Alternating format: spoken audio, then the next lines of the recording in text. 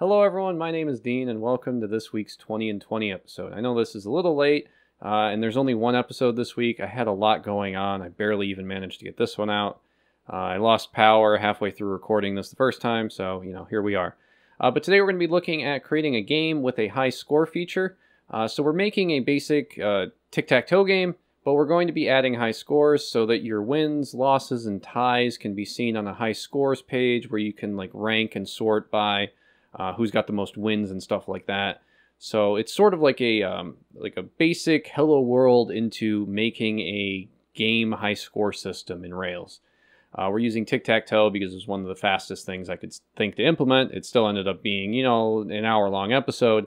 Uh, but hopefully this gives you some ideas for if you want to make your own game and how you want to like set things up uh, for like your high scores. So yeah, that's the basic idea. We'll use Devise, Bootstrap, you know, all that other good stuff we normally use. Um, and then we'll, you know, dive into some JavaScript. How do you use P5JS for something like this? So yeah, we're using P5JS, uh, which allows us to do a whole bunch of fancy stuff that saves us a lot of time, like, you know, the draw loops and all that stuff, which you normally have to do manually. Here we're, you know, handling it uh, with P5JS. So yeah, we're covering third-party libraries, games, high scores, and all that other good stuff. Remote calls, uh, so hopefully you guys get some value out of this, but that's enough for me. Let's go ahead and let's jump into some code. Okay, so this is going to be my second attempt at recording this. Um, we're going to start by adding in some gems that we're going to be using in a minute here. So the first one we'll add, of course, is devise. And then we're also going to add simple underscore form. And then we'll save our gem file. Uh, we can then come over to our terminal and run a bundle install command to install both of those gems. Let's now run a rails g devise colon install command to install devise. Let's now run a rails g devise user command to create our user model. Let's now run a rails g um, simple underscore form colon install hyphen hyphen bootstrap. So that's going to install simple form with the bootstrap flags. Uh, now let's do a Rails G devise views to generate our devise views. And we can now do a Rails uh, db colon migrate command to migrate the database. And we can now do a Rails G controller pages. And we need a couple pages here. We're going to do a home page, a game page, and a high scores page. Okay, so that takes care of that. Let's now come into our config and our routes.rb. And we're going to set the root to be the pages controller home action. Uh, the get for both of these is fine, but we're also going to need a post to, uh, we're going to just call this slash played. And we're going to say to the pages controller and the played action. Uh, and we're going to use this for once the game is over, we're going to post to the pages controller uh, to update the score for the user. So if the user wins or loses, we'll add that on there. Which reminds me, uh, I don't think we remembered to do this, but we can just create a migration for this. Uh, let's say Rails G migration add underscore score underscore two underscore user. And we're going to give the user a wins, which is an integer, a losses, which is an integer, and a ties, which is an integer. And then we can run that migration. And before you run the Rails, before you run the migration, sorry, we generated it, but before we run it, let's come into our db migrate and the second migration right here. And for all three of these, uh, we're going to want to do something like default colon zero. So the default value is going to be zero. Uh, and if you're on a Windows, you can hold Alt inside of VS Code to work on multiple lines like that. So let's save that.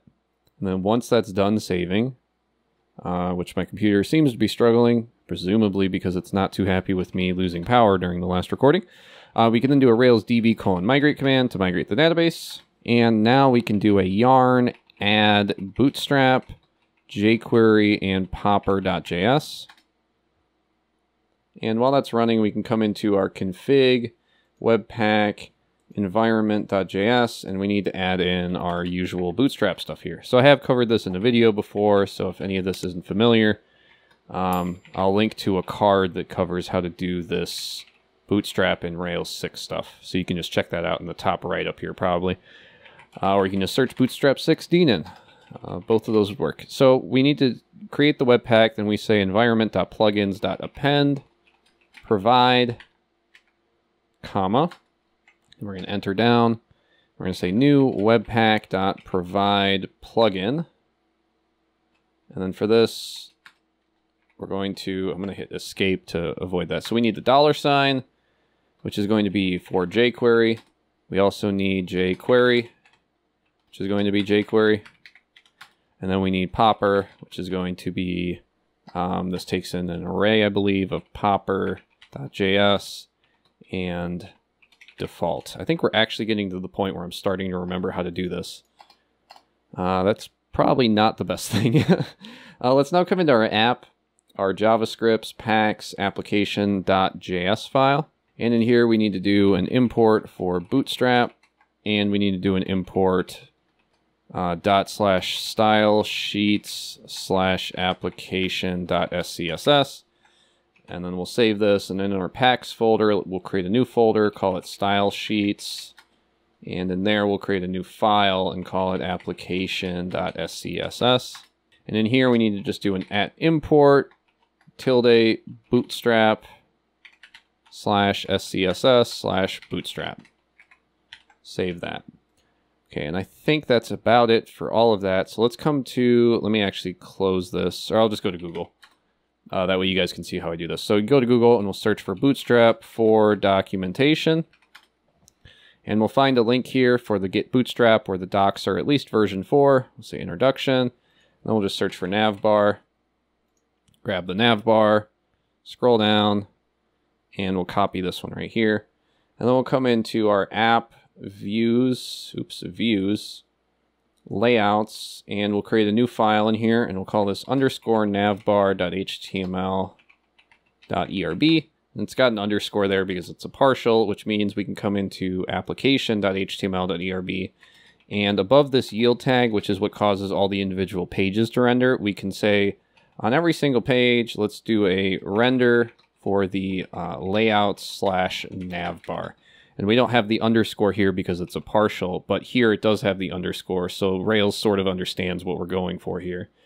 And if we do all of that, and we didn't mess up with anything, and considering we've now been typing commands and stuff for about seven minutes, uh, it's kind of stretching it, but if we come over here and we come to the root of the application, and Webpacker compiles, all of this should hopefully work, maybe. Uh, but while that's running, we can come into our app controllers pages controller. And I'm sorry if you can hear my computer right now. Uh, it seems to be running at like every single cylinder. okay, so here we have our uh, our nav bar showing, so our bootstrap is working. Uh, but let's come into our pages controller and let's just set this whole thing up right now so we don't have to deal with this later. So the first thing we want to do is uh, do our before action. So before any of these actions, like the home, game, or high scores, we can we can call a function, and devise comes with authenticate user as one of the functions, which is basically saying uh, make sure the user's logged in. So before any action in this controller happens, except for the home action, tell the user they need to sign in. Uh, if they are signed in, this won't fire.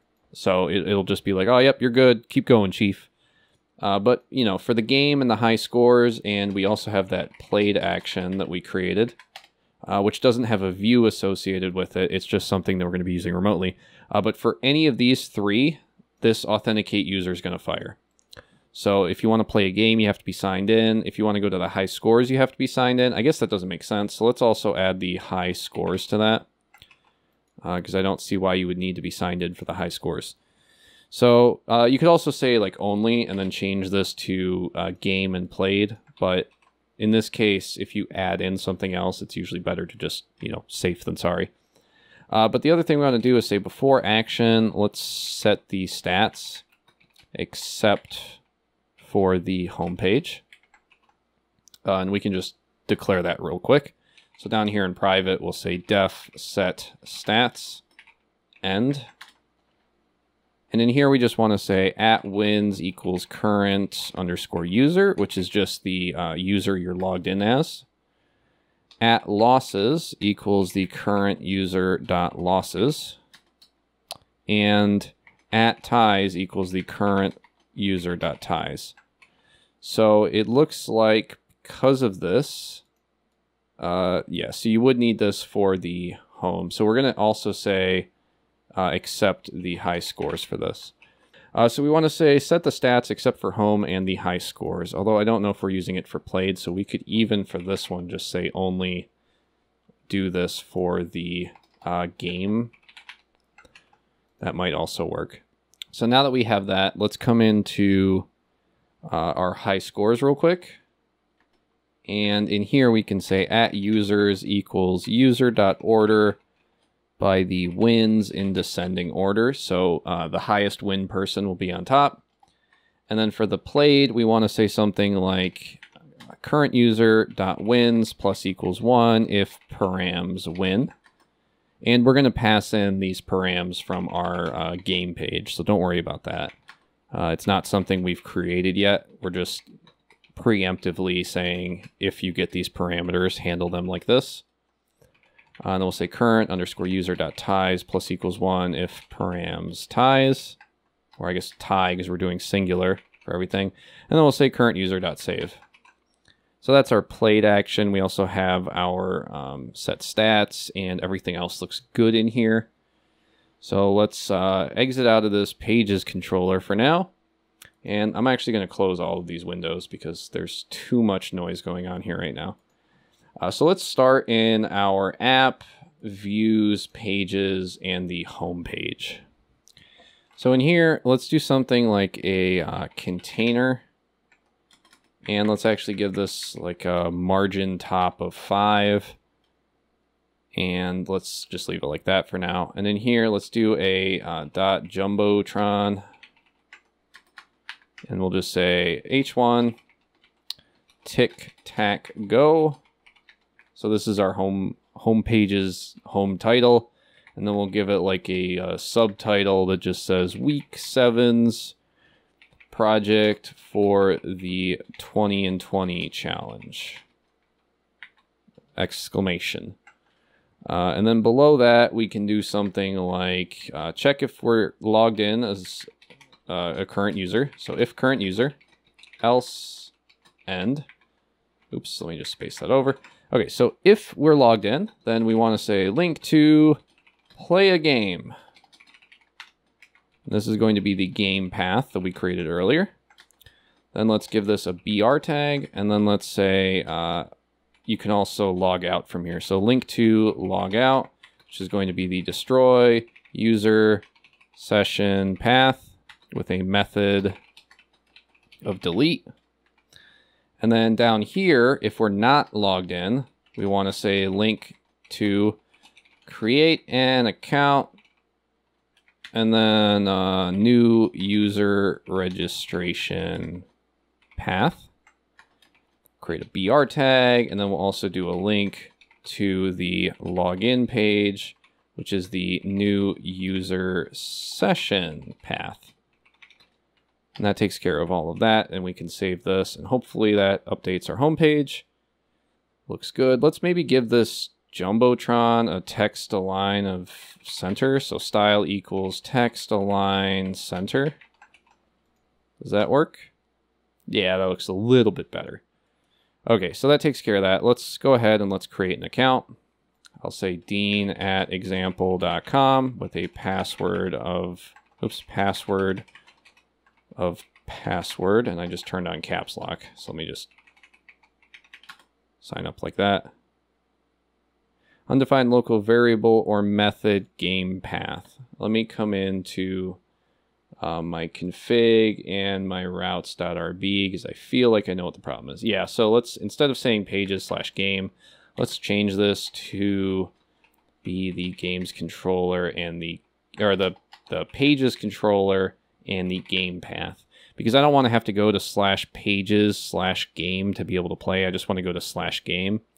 And similar for the high scores, I'll just say to the pages controller and the high scores action. And the played is fine, I think. So if I do that and then I wait for this to save and refresh, that should get rid of those errors. So now we have that. Let's now clean up our nav bar. So we're going to be in the nav bar for a little bit here. So let's come into layouts and our navbar.html.erb. And I'm going to full screen this because this one's usually a bit of a doozy. It's a bit redundant, but I like to show this in every video just so that you sort of get the hang of this. So the first thing we're going to do is replace this uh, navbar link with a proper Rails link. So I'll say link to uh, tic tac go, which is our logo name. So we're going to call this the root path and give this a class of navbar hyphen brand. We can get rid of this home link, or I guess just replace it with a Rails link. So let's say link to the home page, which is the root path, which has a class of nav hyphen link. Uh, this drop down we can actually cut out of here and then we can delete this disabled link.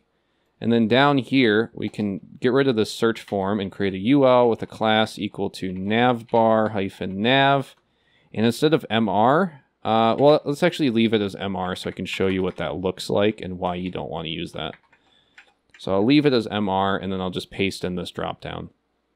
And let's get rid of this word dropdown here and replace this with uh, current user dot email, which means we're going to have to say if current user do this dropdown, else you're not the current user. So you're not signed in. So let's do just two LIs like this one. So one, two, and then we'll get rid of this one and we'll say um, link to create an account, new user registration path, class of, what was it, nav hyphen link, I think. And then we'll just copy this and we'll paste it down here. And instead of create an account, we'll say log in. And instead of new user registration path, this is going to be new user session path. But let's take a look at this drop down real quick. So I'll save that and then I'll refresh. So our nav bar changes. You can see how this like email right here, which is great that it's there, but it's in the middle now. Uh, and the reason for that is if we come back into here, we need to change this MR to an ML for margin left because margin right is saying fill this up with an automate automatic amount of margin.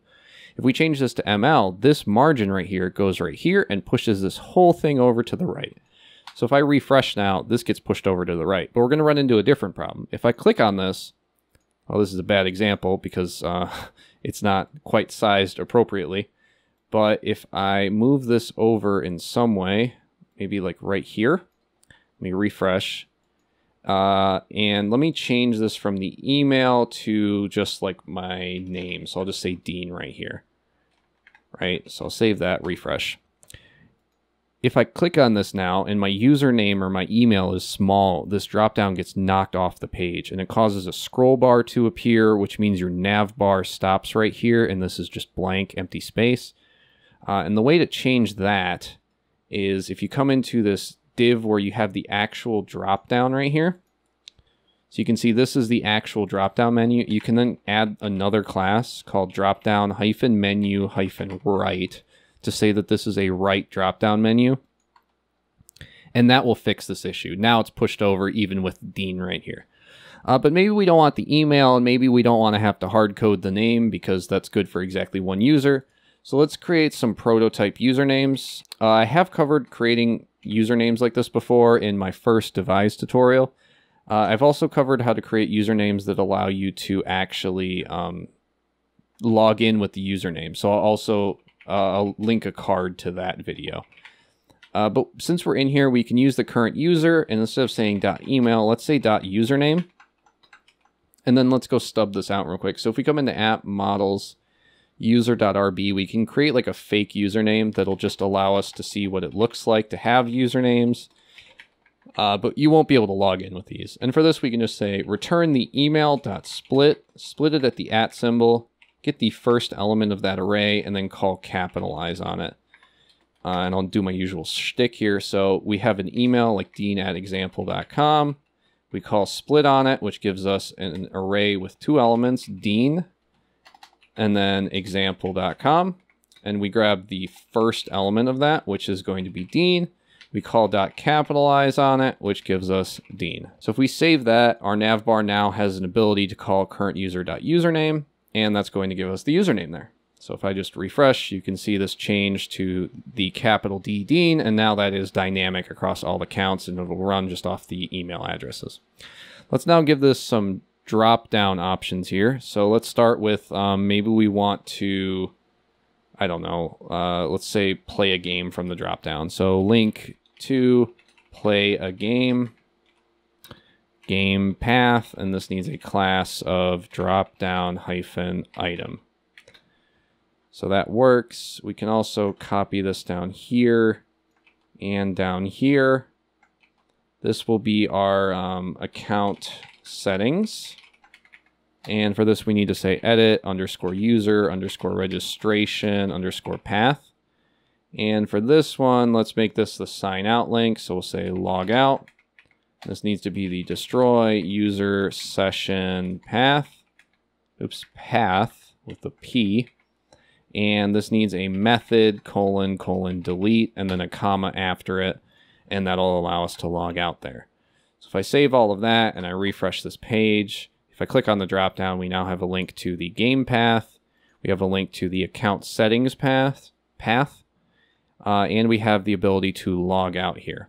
And then I can log back in uh, using my email, but not the username because it's not a loginable username. It's also not a word loginable probably, but you know what I mean. Uh, let's add a couple more links up here and then we can get to work on the actual game, I think. So right here we have this uh, this link uh, stub link right here. Let's just uh, do something like this. And then let's grab this home link and we'll just paste this in a few times. I think we only need it twice actually. So we can get rid of this li. So this first one will be um, play a game. And this down here will be the high scores. And you could just have these links in one place, but this sort of shows you how like you can have different things like the play a game link in your dropdown and maybe not in your nav bar, or you can just have like redundancies, which you know encourages user conversions. Uh, because the more times you're exposed to something, the more likely you are to do it, right? So this, you know, this will give you your links, but now we need to change the actual uh, route path here to a game path and this should be the high scores path. So if we save that and refresh, we can now go to high scores, play a game, and the home page. Okay, so all that's good. Let's now come over to play a game and let's actually get these games going, right? Okay, so this is going to be a bit more involved than usual when it comes to the JavaScript we do on this channel.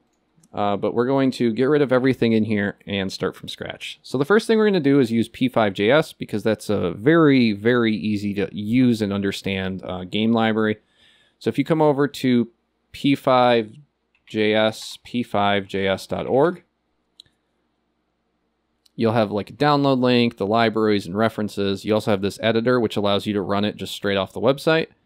Uh, so right here, they have a they have two functions, the setup function and the draw function. One is to create the canvas in your setup, and then this one just draws a background to it. If you hit run, over here, your preview will have that background. So if I set this to like zero for black, I think, this will just be pure black. 220 will give you this gray background. So that's the basic gist of the P5JS uh, setup. What we're going to do is we're going to use a CDN. Uh, and if you go to P5 js.org. So p5js.org. Yep, leave. I don't care about my changes. And I think download. And then in here, you should find something for the CDN somewhere, maybe. Let me just full screen this. Uh, CDN, so this is a link to the statically hosted file, which is your libraries. And you want to grab this bottom one right here, which is the default file, of course. So we'll just copy that. So let me uh, move this back over. So we're going to say script, which will have a src equal to that link, and then we'll close this script tag. So that's going to import the p5.js for us. uh, now full screen to start working on this. So let's start with a div and a class of container, and we're going to give this a style equal to text align center. In here, we're going to create an h1 and give this an ID equal to score text. Uh, and this can also have a text align of center. Of course, you could style this, you know, give this a class, make the text align a class. Uh, but we're just trying to get through this because we do have about 200 lines of JavaScript to go through. Uh, and in here, we're going to call pluralize for the at wins, win, slash pluralize for the at losses, loss. And then we're going to say uh, pluralize for the at ties, ties, uh, just tie, because the pluralize will handle that. Uh, so there is an edge case we're going to run into here, which is going to be a bit of a problem. But we then have the div with the style equal to font size 32 pixels and an ID equal to result. And then we can go ahead and close this div. Uh, so now we can create our script tags, and this is where the bulk of our application is going to be. You could, of course, move this somewhere else. Uh, the issue is P5JS is going to rely on a sketch.js file, which you can see on the P5JS editor website. So if we come onto the P5JS editor, and if you pop right here, you click this little arrow, you can see the files it has. It needs the sketch.js right here uh, to run properly. And the issue with Rails is it's going to compile that and it's going to give you a digested name, which is going to be something like sketch.js and then like a whole bunch of random garbage behind it.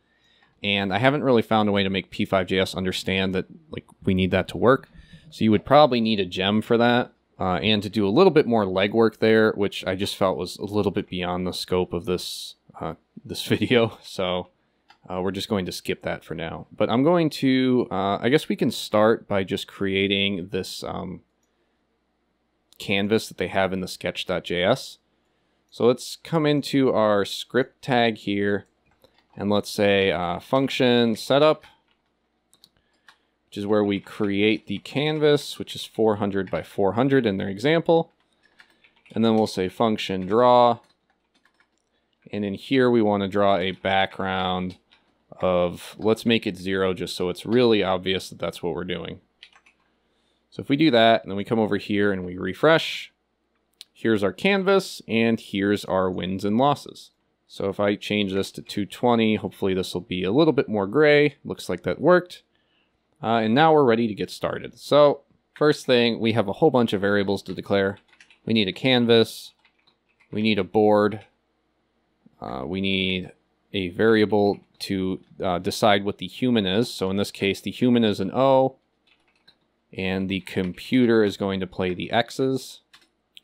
And the X's and O's may haunt you, but that's a song for another time. Uh, we then have a current player, which we'll use to switch back and forth between whose turn it is. We have a variable for the um, available moves, which is just going to be an empty array for now.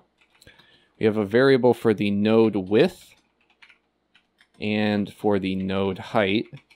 And these are going to be three because you have like three nodes basically. Uh, so we need to split the canvas's width and height into three.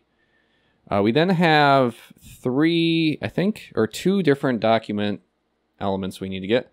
The first is going to be the result text, which is going to be equal to document document dot get element by ID result. You then have a var for the score text, which is going to be a document dot get element by ID this is going to be the score text we created earlier. We then have a variable for the canvas offset, which is equal to the result text dot get bounding client rect dot bottom, which is going to basically just get the bottom of the result text and um, work off that position so we can make our canvas responsive. We're then going to say var winner, which is of course going to be our winner. uh, a boolean to say if the game is in progress, and then we have a score, which we can actually set equal to parse int. And for each of these, we're going to parse the at wins, comma, parse int, the at losses, and all of this is coming from our controller, of course. Uh, the stuff we declared at the start of this video, and then we also have the at ties. Oops, and that looks good. We'll add a semicolon right here. And now we can get started. So instead of having this setup function here, um, what I like to do is, you know, have some logic in the setup and then have some logic in a new game function just so that I can separate the two and then I can call new game whenever I want to create a new game instead of calling setup because that wording doesn't really make sense. So in the setup function, instead of saying create canvas 400 by 400, we're going to set our canvas variable to be equal to create canvas. And instead of 400 by 400, we're going to say make it the window width, which is provided by P5JS. And we're going to say the window height minus our canvas offset that we just uh, grabbed times 2, which is just going to push the canvas down a little bit below our uh, result text. We then have the node width, which is equal to the width divided by 3, the node height, which is equal to the height of the canvas divided by 3. We're then going to create a function called center canvas, and then we'll call new game, which is our function for stuff we should do at the start of the game. So let's uh, start by creating the center canvas because it's the first function we call. So for this, we'll say function center canvas.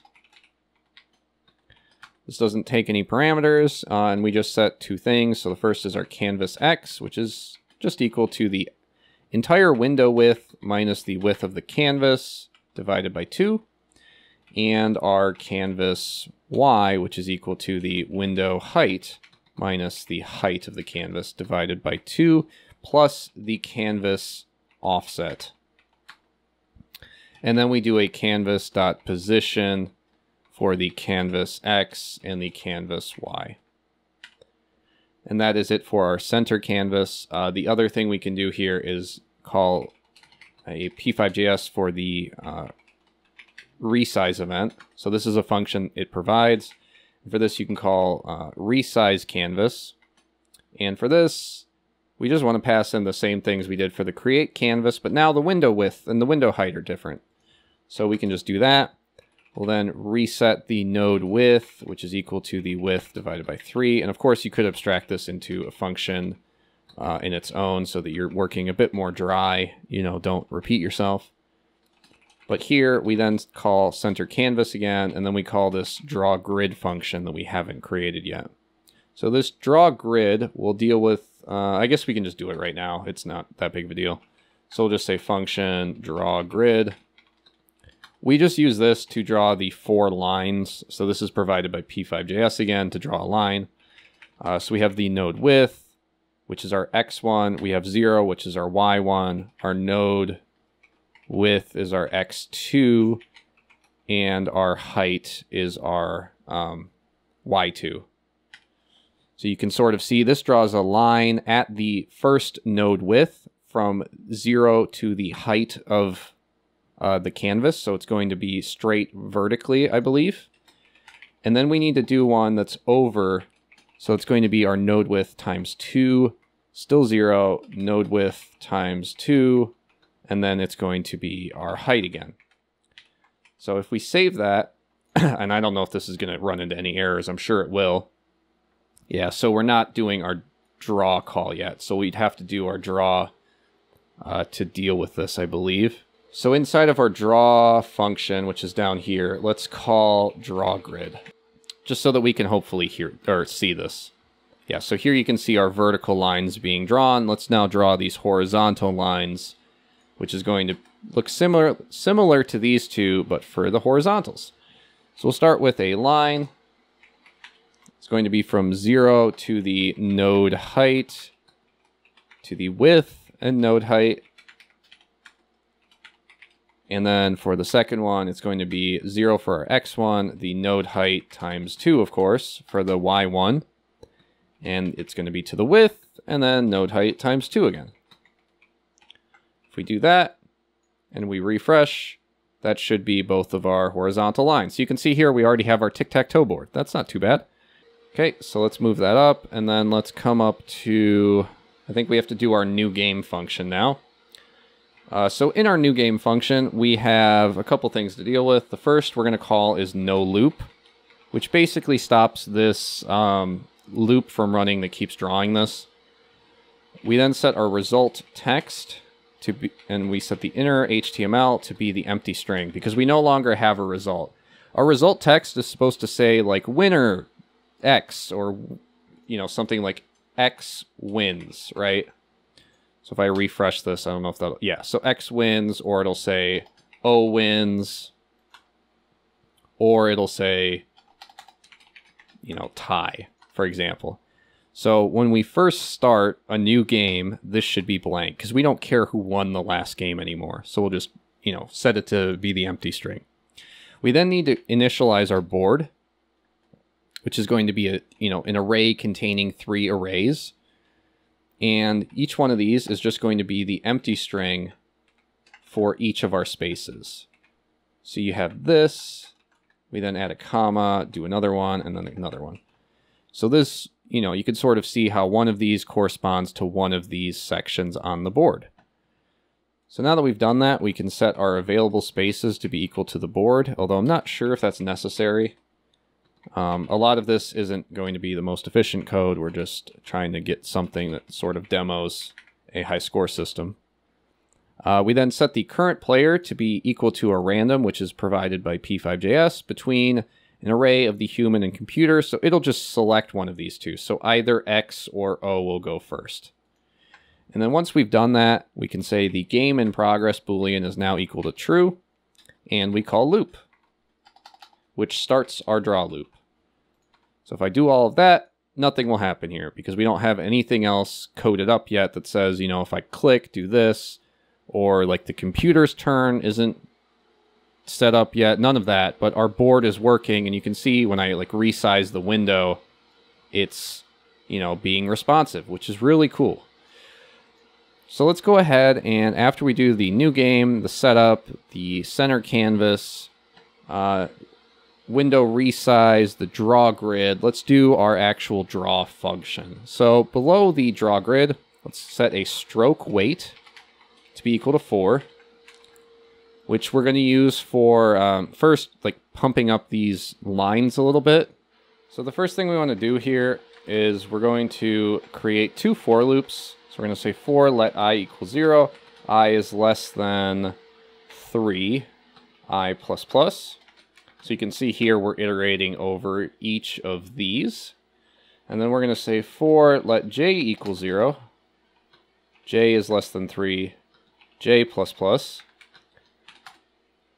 And in here is where all the magic's going to happen. So our i's go across, our j's go down. So like if i is 1 and j is 1, we're right here. If i is 2 and j is 1, we're right here. Or if j is 2, we're right here. j is 0 is right here. So that's sort of how we're doing this. Um, so we're going to say let x equal the node width times i plus the node width divided by 2. So what does this mean? Well, let's consider a few cases here, just so that this is kind of clear. Um, if i equals 0, then x equals, well, node width times 0 is just 0, so the node width doesn't matter. It's going to be 0 plus the node width, which is from here to here, because that's how we set these lines, divided by 2. So it's this space divided by 2. If i is 1, it's going to be to this line, plus another node width, which is this line, divided by 2, because you're not dividing the first node width by 2. If i is 2, it's to this point, plus another node width, divided by 2. So that's how we're going to set things into the middle of these squares. We'll do that for the i and the x, and the j and the y. So let's create the y right now. So say let y equal the node height times j plus the node height divided by 2. Oops, divided by 2. Now we need to create like a spot for that. So for that we can say let spot equal board at i j. So we're just, you know, grabbing whatever's there and um, setting that into the spot. We now need an x radius and a y radius, which we're just going to use for creating the lines in our x's. Uh, we don't need this for the O because we're just going to be using a basic ellipse for that. But um, yeah, so our node width, node width divided by 4, and then let y radius equal our node height divided by 4. Cool. Now let's use our spot. So if our spot is a human, so if it contains an O, then we need to call no fill, which is just something from P5JS. Uh, and if you're familiar with, you know, your JavaScript stuff for drawing shapes, you're probably more than familiar with these things. Uh, but we're going to pass in our x and our y, which is going to position it in the middle. And then we're going to make it, uh, the size is going to be the node width divided by 2 and the node height divided by 2. Getting a little ahead of myself there with my fingers. So if I save this alone, nothing should happen here. But if I come up to our board and I put like an O somewhere, I wonder if that will, yeah, so that'll draw it. So let's also add an X somewhere. Oops, and go back to our game. Add an X somewhere, save that. Uh, we're not drawing it yet. So you can see that's sort of a problem. Also, we have an extra comma here. I don't know why the formatter feels the need to do that. Or if I did that maybe when I was copying and pasting. So now let's draw in our x. So else if the spot is equal to the computer, which is an x, that's just what we set up at the top with our string. Then we want to draw a line, and our x1 is going to be at x, which is our halfway point, minus our x radius, which is how long we want it to be. So we want it to be like a quarter of a node width. To our y radius, or our y minus our y radius. So same deal there. Those are our x1s and our y1s. We then want to say x plus the x radius and y plus the y radius. So if I just save this, you'll see what this one line looks like. So it just creates this slash, and now we have to do the opposite, which is going to start from up here and down to the left. So we'll move down a line, We'll create a line. This one's going to go from x plus the x radius, y minus the y radius again. And it's going to be x minus the x radius because we're not moving the y here. We're only moving our x's to get this to draw this x. And now that'll draw this one. Cool. So that takes care of drawing both of our shapes here. Now we need to come down one brace, two brace, three braces. So it looks like about right here. And we want to say if game is in progress and uh, this check winner function, which we haven't created yet, and the current player is equal to human, is equal to computer, sorry. Uh, then we want to call next turn. And next turn is just going to be how our computer decides what to do. Uh, we can now do something for our player. So we're not going to use this next turn right now. Uh, we're going to start by creating the ability for the player to actually make their move. So we'll say function mouse pressed, which P5JS will handle for mouse clicks. If game is in progress and we check the winner and the current player is equal to human, and why are we doing it in this order? Well, the first, the very first thing we want to check is, is there a game in progress? Uh, you're not checking for a winner if the game isn't in progress. That just doesn't make sense. You might run into a null issue. If the game is in progress, then check if someone has won. If nobody has won the game yet, then check if there's a current player, uh, who it's set to, if it's set to human. If it's the human, then we're good to go into this loop. The other thing we want to do is we want to make sure that if I'm clicking up here or, you know, in my drop down, I'm not accidentally making a move here. So we're going to make sure that the mouse is inside this canvas when we click. And that's pretty easy to do because P5JS has quite a few things to work with here. Uh, we can use mouse X and check that it's greater than or equal to 0, and mouse Y and check that that is greater than or equal to 0. And all we're doing here, the mouse X and the mouse Y, we're just checking to make sure that it's greater than this line right here, which is going to be down, and that it's greater than this line right here, which is going to be to the right. We now need to handle the other edge and the bottom. So let's do that. We'll say and make sure that the mouse X is less than or equal to the entire width of the canvas and make sure that the mouse Y is less than or equal to the entire height of the canvas. And now that we've done all of that, we are free to finally begin uh, converting this mouse position safely into our node position, which we just do by converting the mouse X uh, over the node, node width, and then we say J is equal to floor for the mouse Y divided by the node height, and we're just doing that to make sure uh, that this is going to give us an integer value of 0, 1, or 2. And then we need to say if this move is available, so we need to create a function that says uh, move available, i, comma, j, if it's available. So if that function returns true, then the i, j position in our board is now equal to human, which is an O. So we placed an O, and then we set the current player to be equal to the computer, which is just an X. And that takes care of that. So now let's come down and say, uh, we can now click what happens if we want to reset the game. So for this, we can use a key released function to listen for a key being released. And we'll say if key code is equal to 32, which is the spacebar, call new game, which is why it's so nice to have this new game in its own function.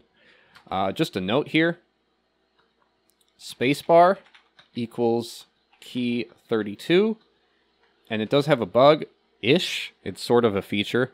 If you hold space, you scroll down the page, uh, so if for some reason you do get a scroll bar here and you hit space to restart the game, you might scroll down and it might be a little bit buggy. So maybe don't use space for this. Uh, I just used it because it was the first thing I could think of. Uh, we already have our draw grid, of course. Let's now create a function that we can use as like a helper for checking if there's a winner. And for this, we'll create a function called equals 3, which takes in three arguments because there's three nodes we need to check. We need to check like, you know, position i equals 0, i equals 1, i equals 2, or j equals 0, j equals 1, j equals 2, or like the diagonal.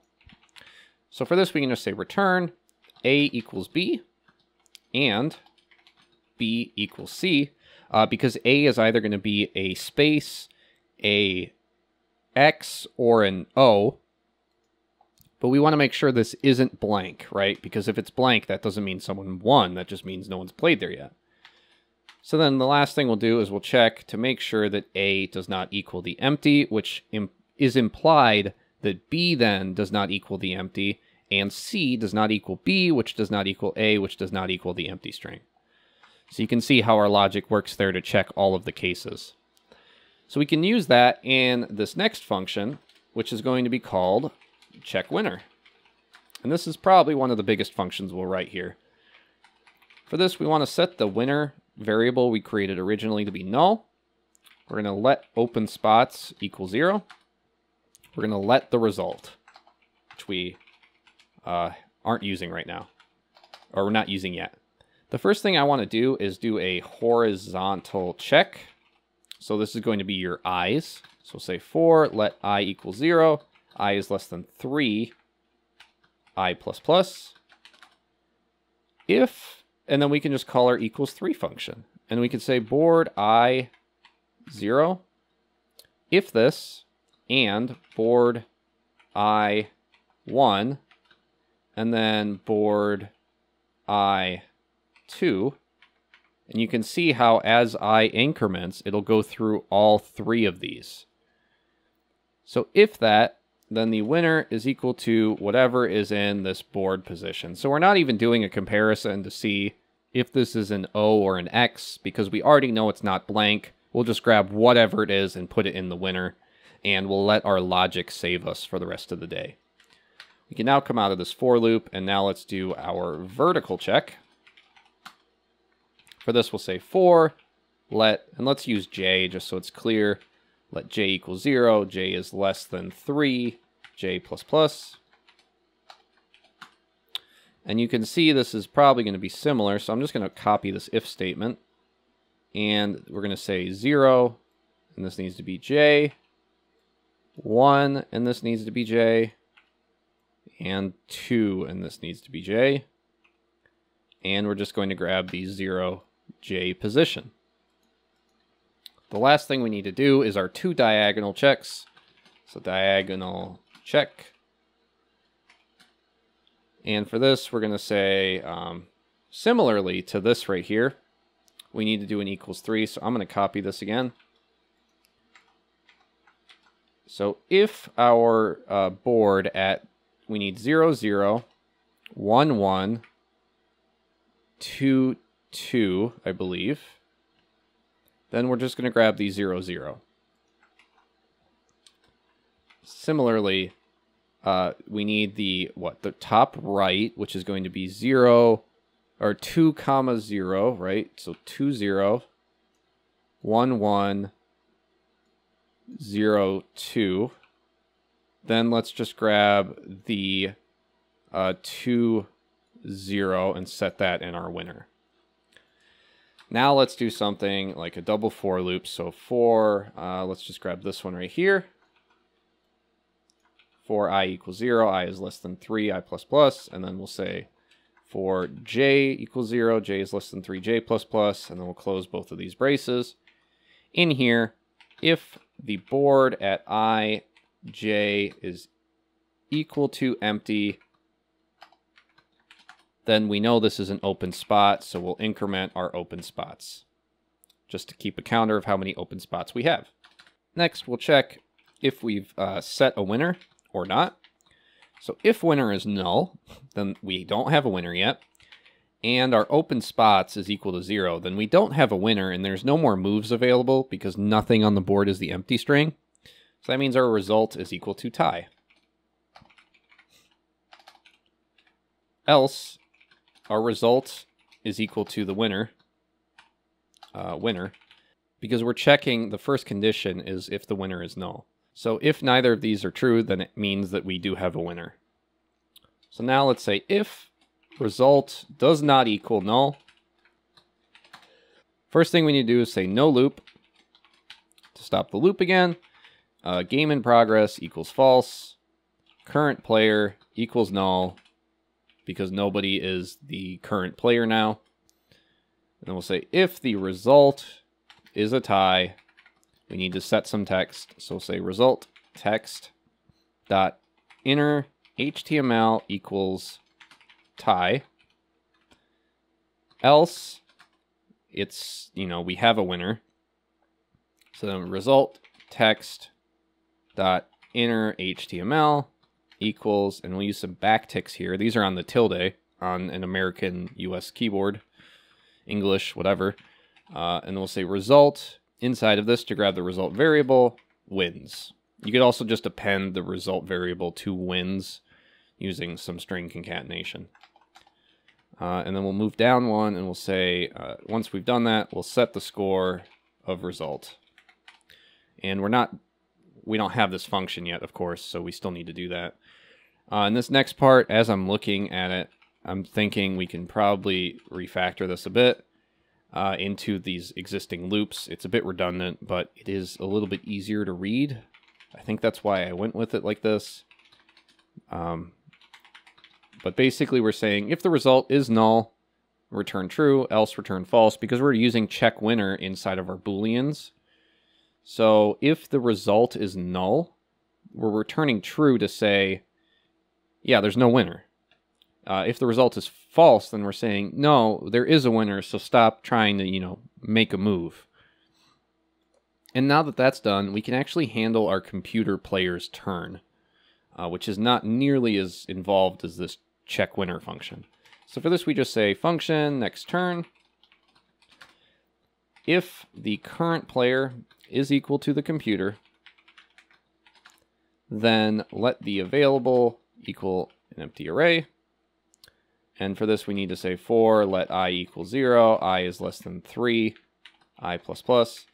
And if you're ever thinking about making a terrain engine, um, this is basically what 90% of it is, is just a whole bunch of for loops. But, you know, usually it's um, three dimensionals even. So you're working with just a whole bunch of fours. And that's why, um, yeah, you know, it's a lot more involved than just saying, I, I want to make a game with blocks, unfortunately.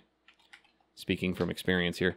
Uh, so we create our two loops, and then we say if the move is available at i comma j, then we need to push to our available array. So we'll say available.push, but we're going to create a uh, some braces right here, and then we'll push in i, j. And you'll see why in a second here. So now we come out of this, we come out of our for loops, which I think are these right here. And then we say let move equal random inside of our available. So if you're using a better algorithm like a min-max to make sure your computer never lost, this is where you would change it. We're just using a random move here though. And now we have move in our variable. So we can say board, and then our first one is going to be move.i, which is why we uh, created it like this and pushed in our i's and j's. And then we could say move.j, which allows us to access these outside of our loop. And then our current player is equal to human. We set the array at the i, j position to be equal to an x, and then we move back to a human player. Now we need to create our set score function, which takes in a result. It's going to have a switch on the result, which is going to have a case for the human, which is going to be score 0 plus equals 1, break, case for the computer, score 1 plus equals 1, break, and then the default, which is just going to be your um, how you deal with a tie, basically, which is just going to be score 2 plus equals 1, break. Next, we come out of our switch, and we say set the score text, something else we haven't created yet, and then update the scores, passing in the result, and that's going to be our remote call right there.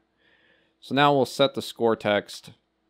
So say function, uh, set score text, which doesn't take in anything. And we'll just say score text dot inner HTML equals backticks, so on the tilde again. Uh, score zero. Oops, score zero. Wins slash score one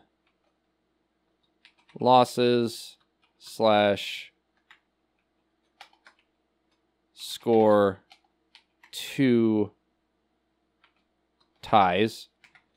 And as I'm looking at this, this is where you're going to run into your remote call issue. So because you're not moving this back from the server after you push this, uh, this is going to be pluralized if either of these, or if any of these are one, it's going to say one wins, one losses, one ties, which doesn't really read right.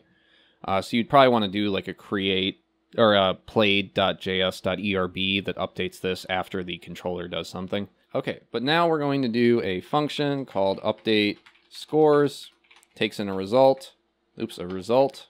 It's going to have a, a var for the form data equal to a new form data. A switch for the result again. And we can actually just grab this whole switch right here. So I'm just going to copy this and paste it. Uh, but instead of doing score zero, we're going to say form data dot append a win, comma one.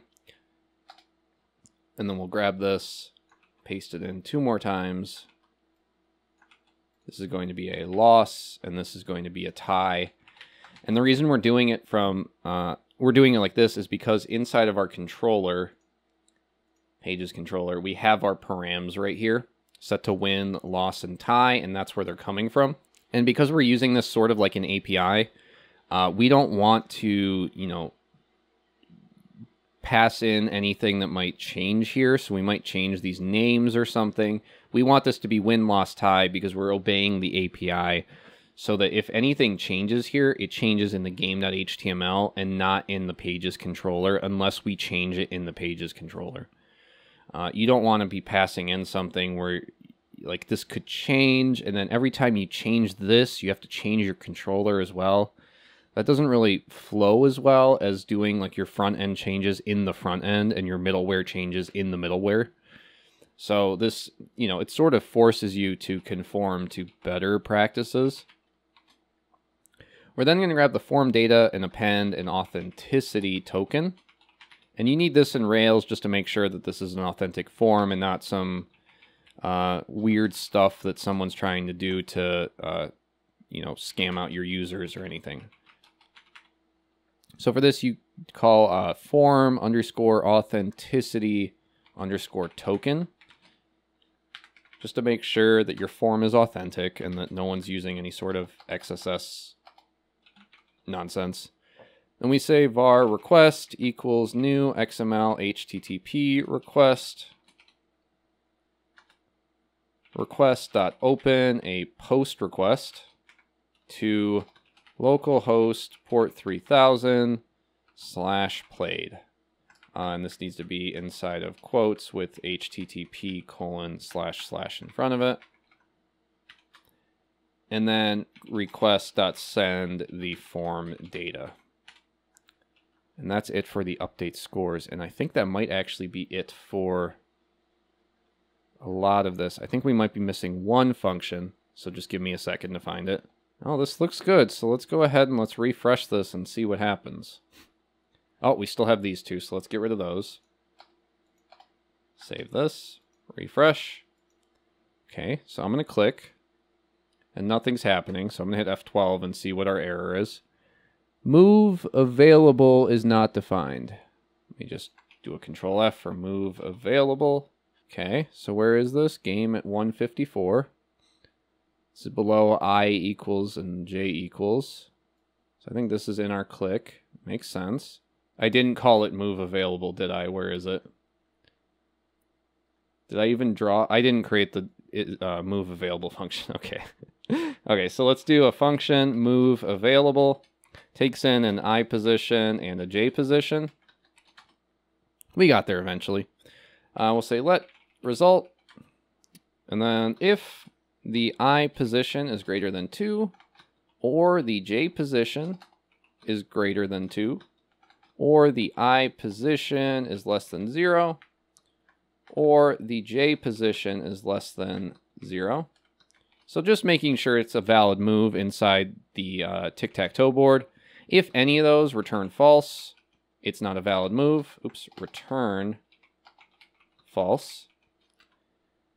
Else, it is a valid move, so it's inside of the board at least. So then we can say the result is equal to board at I position, J position, is equal to the empty string. So if it's equal to the empty string, this will be true, which means the result is true, which means we'll return, this actually should have been result. We'll return true. If it's not equal to the empty string, it could be an O or an X, which means this does not equal the empty string. So an O does not equal the empty string. So this is false. And then down here, we just say return result. Cool. So now if we did that correctly, we should be able to refresh. I'll close the console so we have a bit more to work with. I'll click here.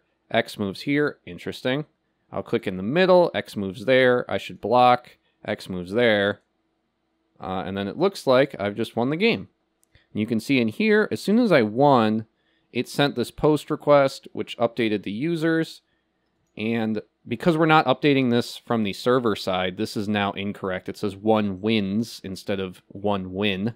But if I refresh our Rails code, we'll fix that.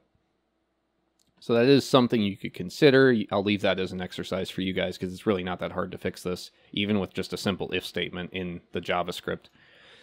Uh, but now if I refresh, you know, it's still there. Same, same logic. I can hit space to start a new game, which sort of lets me cheat because if I see that I'm losing, I can hit space. Um, but, you know, that's just how this sort of works. This is a tie, so now we have one win, one loss, and one tie. That's pretty cool. Let's come over to our high scores, which I don't think we've created yet, and let's just do that real quick. So I'll come into app, views, pages, high scores, and we'll just create these real fast, and then we should be good to go. Uh, so we'll say container, Jumbotron. This should have an H1. Oops, that should have been a um, H1 tag. There we go. And let's give this H1 a style equal to text align center. Oops. Center. And uh, let's just say all-time high scores. Make it sound like it's super, super cool to be on there. And we'll say at users dot each and then dot with underscore index do allows us to do something like user comma index. And then we can use this index to show which rank the user is. So let's create a p tag, close the p tag, and then here we can say rank number index plus one colon. So this user, user.username, is rank one or rank two, whatever. And they've won, has won, pluralize user.wins, and then we'll say game, and it should pluralize that for us. Has won, like let's say maybe they've won 10 games. And then we can say, uh, we'll take this a bit further. So out of, and then let's do how many games they've won. So pluralize the user dot wins plus the user dot losses plus the user dot ties. And then we'll say game again. So they've won that many games out of that many games played. And we can save that. So now let's refresh the high scores. So rank one, Dean has won one game out of three games played. Let me go play another one real quick. Block the X's. And the X totally outplayed me there. I didn't even stand a chance. I've now, um, let me come into the high scores. I've won one game out of four games played. So I'm clearly not really good at this. So let's create a new account. Let's say test, or no, let's call it like top ticker at tic tac toe dot go. And we'll give it a password of password. So top ticker will be up here. Sure, save it. And let's play a few games as top ticker. So that's one win. Um, that's two wins. That's three wins. Four wins. Okay, that's, you know, let's maybe lose one. Uh, uh, I've I've managed to only I've managed to force myself into a win. Whatever. Let's come into the high scores now. So top ticker has won five games out of five games played. Uh, they're clearly a far better tic tac toer than I'll ever be. Uh, but you can see now, you know, that's pretty cool. We have a whole high score system set up here for our basic little game. You could, have, of course, use this for any other setup. Uh, it doesn't have to be tic tac toe. It's just the example I went with for this project. Um, but I hope this helped you guys. I'm going to now go ahead and cut to the outro so that we can, uh, you know, finish off this video. Okay, so that's going to do it for this week's 20 in 20 project. Um, I hope you guys got some value out of this, that you learned a lot about making your own game high scores, or maybe you were just entertained while you were eating some ramen. Uh, I'm not sure what we're doing next week. Um, you know, I have a lot more going on, but hopefully I'll have time for a couple more videos. Uh, but yeah, that's going to do it for me. If this video helped you, please remember to like it. It does help me out, helps out the channel. Uh, also remember to dislike it if you didn't like it, because we don't want to subject other people to more bad tutorials. Uh, you know, it always helps me out when I see a video rated at like an 80%, because then I know that video is not that good. Uh, and if that's the only video available for a subject, then at least I know that I'm in for a rough ride so I can prepare myself mentally. Uh, but yeah, that's going to do it for me. Um, I look forward to seeing you guys in the comments and in the future videos. So, you know, consider subscribing if you haven't already done that. All that shameless plugging that YouTubers do. Uh, and I will see you guys in the next video. Thank you so much for watching.